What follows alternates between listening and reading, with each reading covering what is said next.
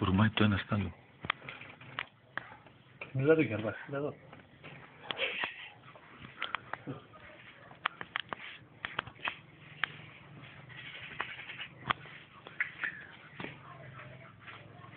Είσαι.